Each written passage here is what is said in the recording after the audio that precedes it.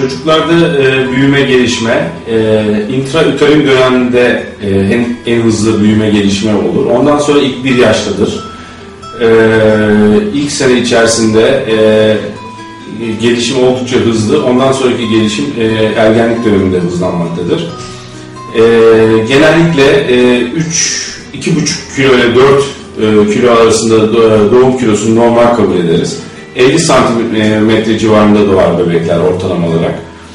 Ee, ilk 3 ay e, gene ilk bir yılın ilk e, 6 aylık dönemi daha hızlıdır e, ikinci 6 aya göre.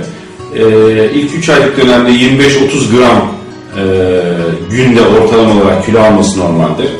İkinci 3 aylık dönemde 20-25 gram gün kilo alması normaldir. 6. aydan sonra e, 15-20 gram gün e, kilo alması normal kabul edilir.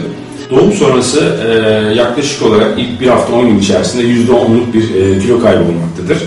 Bu e, anneden geçen sıvıların atılması, bebekte e, ödemlerin çözülmesiyle gerçekleşen bir durumdur.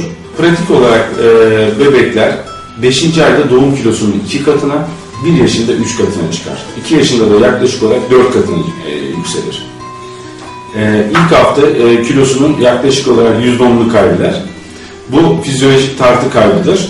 E, anneden geçen sıvılar atılır, e, ödemler çözülür e, ve yaklaşık %10 kaybeder. 10. günden sonra e, söylediğimiz kiloları almaya başlar. Bebekler doğumda yaklaşık olarak 50 santim doğar demiştik. 1 yaşında e, yaklaşık olarak doğum kilosunun yarısı kadar artar. Yani 50 santim doğmuşsa 25 santimetre kadar artar. 1 yaşında 75 santim olur. E, büyümede genelde e, doğumda e, dediğimiz gibi ödemli olur. Onlar çözülür, gözü açılır bebeğin. İkinci ay civarında özellikle etrafa doğru bakmaya başlar, ışığa doğru yönelir, sese doğru yönelir, konuşulanları dinler, gülümser, sesler çıkartabilir, başını tutabilir. Ee, bu gelişim bu şekilde e, artarak devam eder. Beşinci ayda e, destekli olarak oturmaya başlar.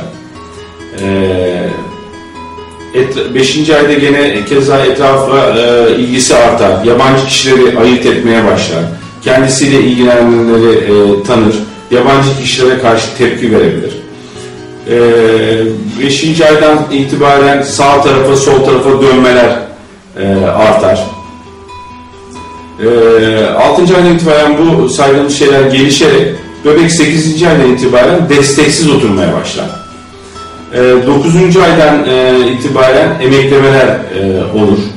E, yalnız emekleme e, bildiğimiz düz öne gitme şeklinde değil de sürünme, geriye doğru gitme bunlar da emekleme kabul edilir.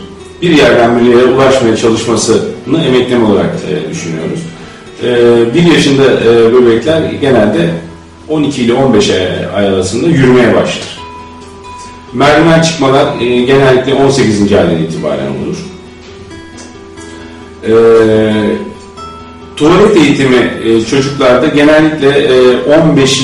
aydan e, sonra yaklaşık e, başlaması gerekir.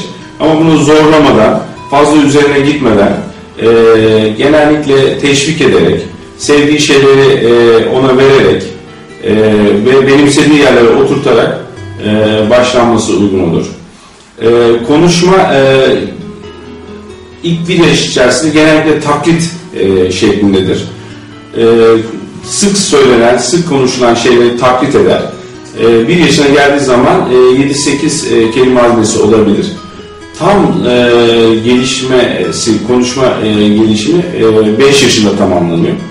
1 yaşında 7-8 kelime haznesi olan bir çocuk 2 yaşından sonra kısa cümleler kurmaya başlar. 3 yaşından sonra uzun cümleler kurabilir.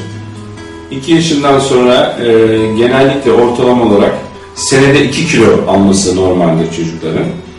E, boy olarak da 4 ile 6 santimetre arasında artış hızı e, normal kabul edilir. E, bu e, süt çocuğu dönemi dediğimiz hızlı gelişim dönemi daha sonrasında e, bu şekilde devam eder. E, ama ergenlik döneminde gene ilk bir yaşta ve süt çocuğun döneminde, süt çocuğu döneminde olduğu gibi bir hız, hızlanma dönemine girer. E, yaklaşık olarak e, kız çocuklarında 15-16 yaşlarında e, artık hemen hemen tamamlanmıştır. Erkek çocuklarda da 17-18 yaşlarına kadar e, gelişim, hızlı gelişim devam edebilir. Ondan sonra e, durur.